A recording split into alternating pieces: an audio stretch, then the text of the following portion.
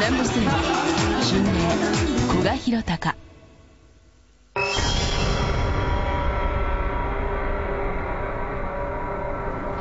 これは茨城県に住む方から送られてきた映像である。この何気ない彼女とのひとときに信じられないものが映り込んでいる。もう一度見ていただきたい茨城県を走るこの路線は飛び込み自殺が多いことでも知られているのだ。あなんだ今の。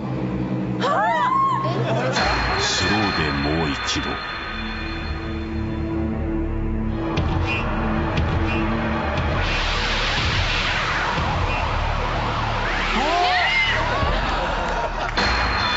お分かりになったであろううつむいた少女らしきものが窓の向こうに立っているのだ。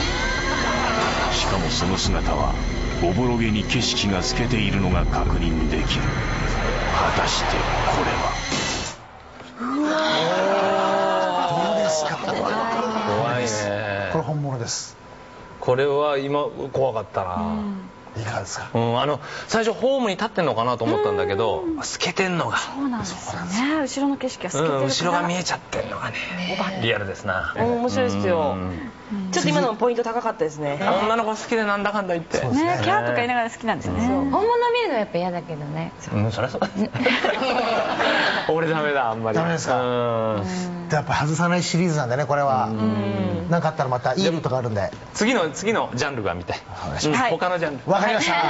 そして今週の第5位です